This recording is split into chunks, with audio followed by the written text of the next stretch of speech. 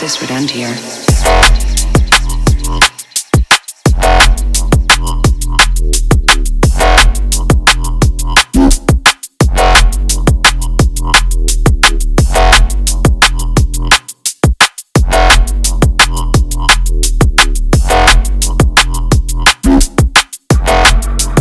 Can't catch it, can't see it.